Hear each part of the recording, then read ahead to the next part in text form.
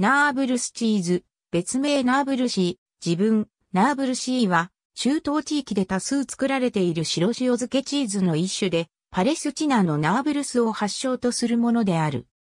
発祥地で、名前の由来であるナーブルスをはじめとするパレスチナのヨルダン川西岸地区及びその周辺地域でよく知られている。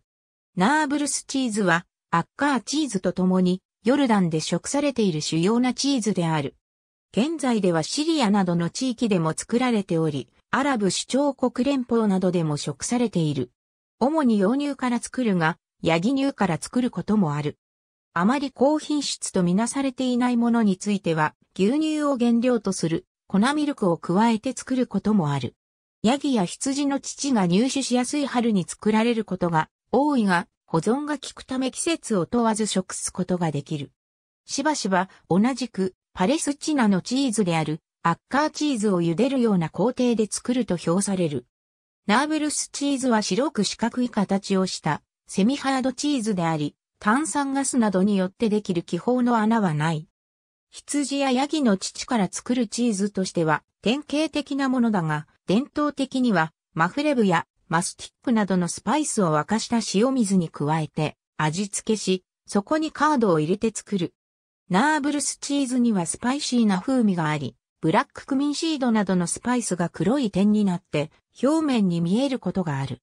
熱すると柔らかく弾力に富んだ食感になるが、ハルーミなどと同様、焼いても完全に溶けてしまうことはない。ほとんどの料理では、ハルーミの代わりに使うことができると言われている。食感についてはよく伸びるため、モッツァレンラに似ていると言われることもある。塩味の強いテーブルチーズとしてそのまま食べるほか、油で揚げて食べることもできる。オムレツなどに入れたり、サラダに入れることもある。